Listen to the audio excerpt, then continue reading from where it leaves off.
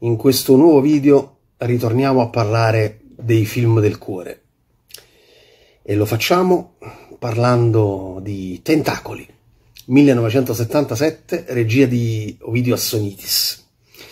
Tentacoli è uno di quei film che si inserisce nel filone acquatico dopo il grande successo dello squalo di Spielberg, quindi risveglia nelle, negli spettatori la paura ancestrale degli abissi, delle minacce, insomma, di creature marine pericolose. E quindi, così come lo squalo, dopo lo squalo ci sono stati l'orca assassina, tintorera, barracuda, piragna e chi più ne ha più ne metta. Il regista italo-greco Assonitis, che è un geniaccio assoluto, scrive e dirige un film che è assolutamente fantastico, perché come creatura marina mostruosa, dopo lo squalo, lui si inventa un polipone gigante, un purpo, un polipone gigante, una piovra, che con questi tentacoli appunto eh, afferra le sue vittime anche se non si trovano in acqua, su un pontile, una, mh, mm, su un pontile, su un molo, su una barca, allungando i suoi tentacoli risucchia il malcapitato e se lo porta giù negli abissi. E il tutto si svolge nella città di San Diego in California, Solana Beach nel film, e ci sono queste misteriose morti.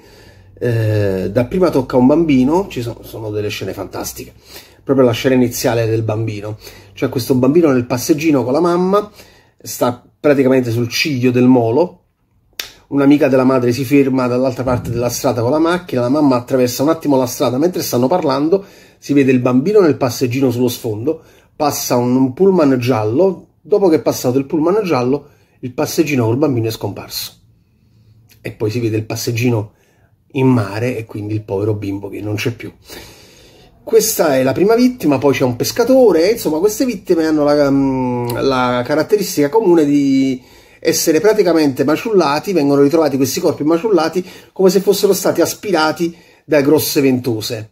Quindi eh, un oceanologo e un giornalista intraprendente arriveranno alla conclusione che c'è una misteriosa creatura marina, mostruosa, che è stata risvegliata dagli abissi e come è stata risvegliata? Perché stanno facendo degli scavi, stanno scavando un tunnel e quindi con delle con delle onde radio antisismiche, stanno scavando questo tunnel sottomarino e quindi questo ha risvegliato questa creatura mostruosa che poi praticamente seminerà il terrore. Cast favoloso, Henry Fonda, eh, Shelley Winters, eh, John Huston, Bo Hopkins, poi italiane Delia Boccardo, Franco Diogene, altra scena calda quella di Franco Diogene il corpulento, il chiattone, come diciamo, bello grosso, no? Franco Diogene, faccia di genere vista in tantissimi film italiani, e, ehm, praticamente è anche lui una vittima del, della piovra, dello, del polipone gigante, e c'è questa bellissima scena delle due gambe che sbucano dal, dal pelo dell'acqua, rimangono lì ferme, riaffiorano dall'acqua, bellissima scena, fantastica, ma Assonitis sapeva girare in modo egregio, eh? Non è il primo film di Assonitis che mi tocca magnificare, ma è uno che sapeva il fatto suo come, come regista, come produttore. Qui addirittura si è inventato un Assony Sound dal suo cognome Assoniti Sound, che era una sorta di Dolby Digital eh, primordiale con delle casse supplementari per aumentare il volume, per creare un effetto audio eh, destra-sinistra, dei pattern anteriori e posteriori, insomma una cosa che chi ha visto il film all'epoca in sala magari avrà potuto goderne nelle sale che erano appunto eh, compatibili o comunque eh, strutturate in modo da poter ospitare questo rivoluzionario Hassony Round Sound. Bah. Comunque, Cassa Stellare, film bellissimo. Io da bambino sono sempre stato rapito da questo film perché l'ho visto sulle tv private tanto per cambiare, perché ero piccolino eh, l'ho visto tantissime volte, e tra l'altro grandissimo ricordo mio personale, perché è stato il mio primo film registrato col videoregistratore nell'83, in una calda serata di, di luglio dell'83, con il videoregistratore Betamax, questo è stato il primo film che ho registrato su Rete 4, Tentacoli, pensa. Quindi come possono non avere dei ricordi bellissimi di questo film? A parte che il film mi piace, è girato molto bene, non è che abbia pretese di capolavoro, va visto per quello che è, un film di intrattenimento, come lo squalo, cioè questi film acquatici non è che hanno queste grosse pretese ecologiste o messaggi che vogliono lanciare, ma guarda, eh, a Sonitis si interessava solo il soldino, eh, guadagnare e quindi ha fatto un film con un cast eh, all stars eh, ben, ben, riuscito, devo dire. E eh, un tocco in più che dà al, al film lo dà la, chiaramente la colonna sonora del, del maestro Selvio Cipriani. Ogni qualvolta sta per comparire il mostro o c'è una minaccia che incombe sul personaggio, parte un jingle.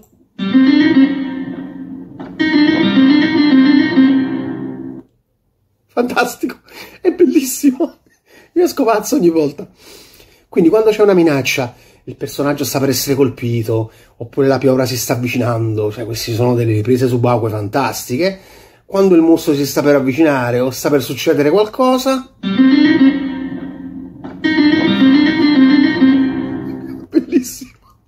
Come si fa a non amare un film così? È stupendo, è fantastico.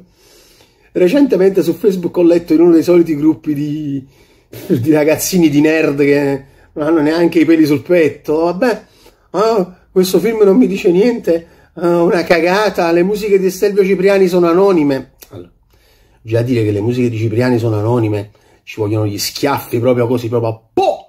Con la testa in mezzo e le due mani così, po, po, pom! Stelvio Cipriani, musiche anonime. Parte che poi in questo film, a parte il jingle simpatico che, di cui parlavamo, riprende anche il tema della polizia sta a guardare, che è riarrangiato nella scena della regata, perché poi chiaramente ci sarà una regata con tutti i personaggi, una cinquantina di persone partecipano a questa regata velica e il mostro richiamato dalle onde radio, perché uno dei protagonisti ha il walkie-talkie, seminerà il panico durante la regata, cioè bellissimo, è un film stupendo, poi con, alla fine ci sono le due orche, Summer Winter, no, film bellissimo, ma di che stiamo parlando? Cioè, tentacoli, ragazzi, no, sentite oggi dire no, tentacoli, no, Basta, smettetela, non vi piace, non, non, è per voi questo cinema, non, non, fa per voi. Guardatevi le serie, i video, videoclippare, guardate, guardatevi cose che non... Lasciate perdere. Il cinema anni 70 è, cinema, è, è solo per pochi. E allora lasciatelo ai pochi. Voi prendetevi la schifezza di adesso. Questo lasciatecelo a noi per piacere.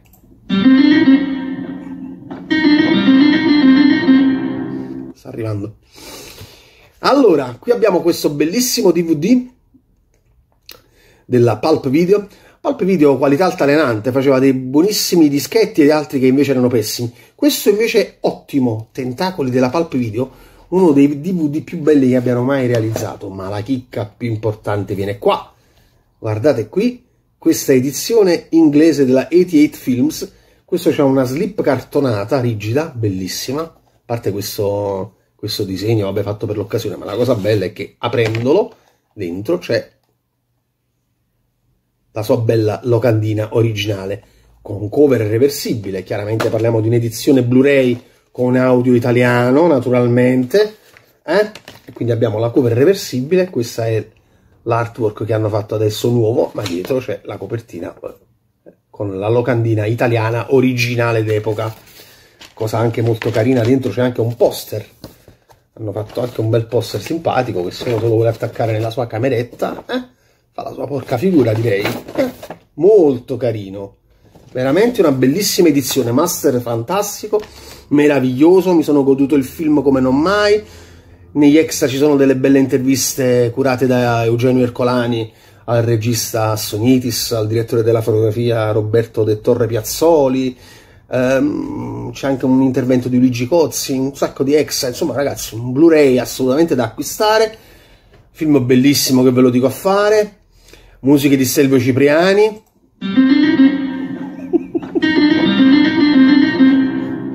bellissimo. A me fa impazzire sta cosa. Non ci posso fare niente, è troppo bello. Quindi, per concludere, da vedere, da vedere, da vedere.